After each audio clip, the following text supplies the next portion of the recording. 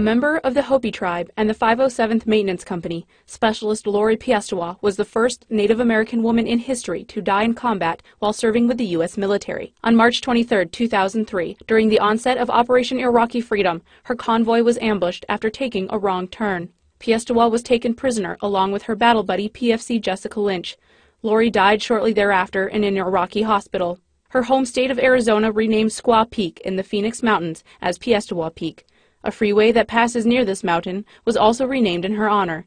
And every year, the Lori Piestewa National Native American Games is held, which brings participants from across the country. As a Native American soldier, Specialist Lori Piestewa embodies the values of today's Army.